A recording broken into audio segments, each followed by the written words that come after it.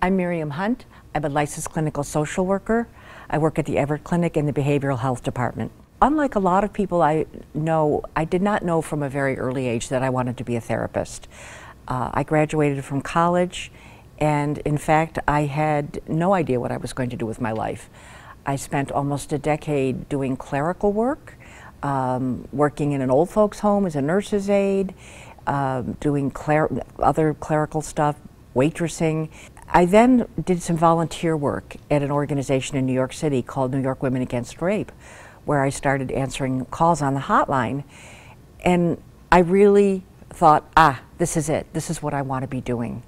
And at that point, I decided that I was going to go back to graduate school and go, and I went to get my degree in social work. So I'm now, over 30 years later, a licensed clinical social worker. Well, I have a lot of compassion and sympathy for people who come in and say, I don't know what I'm going to do with my life, because I was there. I was there for years, a long time. I like to work with all different kinds of people. I like to work with all ages. I like to work with kids, adolescents, grown-ups, families.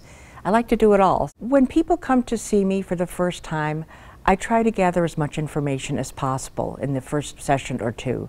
I not only want to know what brings you in immediately, but to know something about your background, so I have a context in which to put you.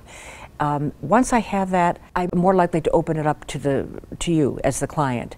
What is it that you need to talk about? What is it that you need to work on? We're very, I'm very concerned with what your goals are, and are we focusing on those goals? And that's what I keep checking in with the client about.